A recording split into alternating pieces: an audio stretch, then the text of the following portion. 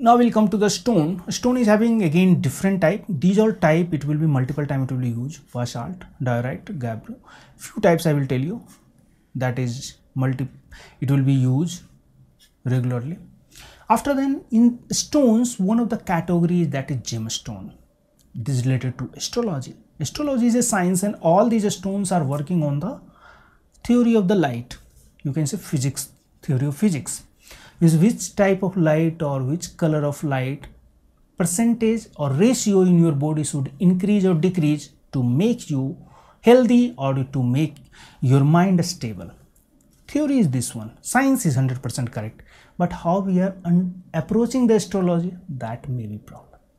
If we are wearing one stone and we are thinking everything will do this stone then it is not possible. Or if we start to blame our uh, our stone for it is not working that is also not.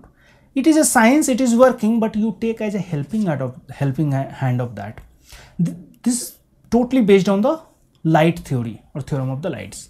Different type of gemstones are there emerald ruby topaz aquamarine sapphire after then uh, peridot diamond gar uh, garnet after then opal depends on the different type of uh, you can say your uh, astrological condition or your kundli condition we can go for the different type of stones.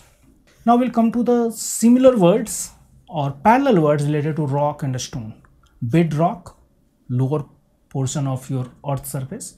Boulder that many of the times it will be used in construction. Cement after then cobblestone. Concrete cornerstone.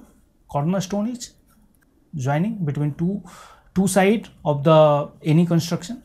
After then flint granite gravel lava molten uh, molten stone limestone marble megalith all will be used in your history like uh, historical uh, stones.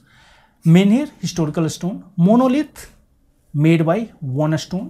Ajanta ellora temple in Madhya Pradesh is made by largest I think uh, a statue made by monolith means single. Mono means one lith means stone. Monolith by made by one one stone. Mortar quarry tile xenolith.